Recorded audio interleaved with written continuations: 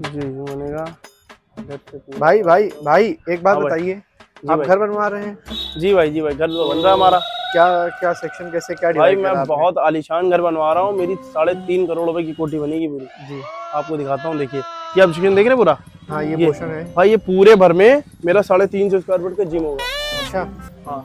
इसमें सिर्फ़ बेंच होंगी सिर्फ़ बेंच अच्छा पुश आप तो लगाते नहीं आपको पता ही नहीं होगा भाई। ठीक भाई ये देखिए ये लगी। और इधर देखिए हाँ, इतने बड़े में मैं सिर्फ़ प्रोटीन रखूँगा सिर्फ़ प्रोटीन ओ ये तो बहुत ज़्यादा जगह लग रही है। आपके यहाँ आटा दाल चावल होता मैं प्रोटीन खाता बेकार है भैया मैं तो टूट गया। जी और ये देखिए यहाँ पर हाँ। यहाँ पर देख रहे हैं आप? ये आपने सेक्शन क्या डिवाइड करा है ये? ये सेक्शन डिवाइड किया है यहाँ पर मेरे ना जो कुछ चूतिया लोग होते हैं ना जो मुझे डिस्टर्ब करते हैं। उनके लिए मैंने रखा है ये कि अपना अलग रख- करें।